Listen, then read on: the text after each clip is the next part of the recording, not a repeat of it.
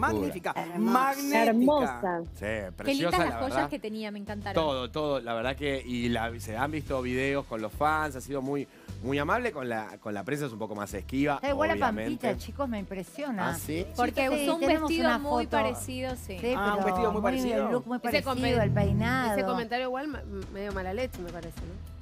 No, no, es la realidad. Hay justo dos Bueno, a ver, fotos. a ver, esa, esa que comparar Y pero y El te puede vestido, parecer. ¿sabemos de quién es el vestido? Sí, el ya te digo. Espera, busca la foto de Pampi que te lo, te lo cuento. Mirá, ahí van a ver. Bueno, uno te blanco y otro negro, ¿no? Es un diseñador Claro, de afuera. el look. El look, ese No, tipo de el look corte. es vestido de strapless. Jimmy Shaw. Simi Chu es, son los Ah. Jimmy eh, Son los son los zapatos. zapatos. Son los zapatos. Yolan Chris. Espero estar diciéndolo Ah. bien. Divino. Es el nombre del diseñador. Yolan Chris, sí, es el primero. Y por las Jimmy joyas. Choo. Ay, no tengo el nombre. otro Ahí está, mi Churri. amor.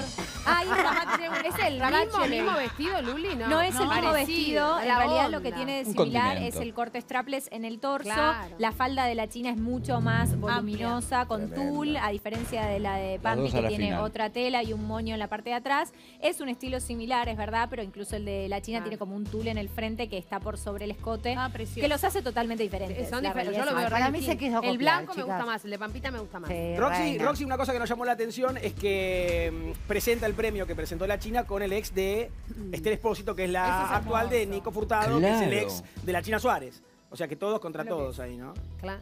Es que se junta, se junta. Exactamente. Bueno, a ver, eh, la China tardó bastante en circular por la alfombra roja porque casi llegó a último momento, hizo notas con todos los medios, me miraba bastante con quién hacía las Sí, notas, obvio. sinceramente. Se cuida. Muchos, muchos famosos este, claro. preguntaban tal cual, preguntaban de dónde era, para dónde era.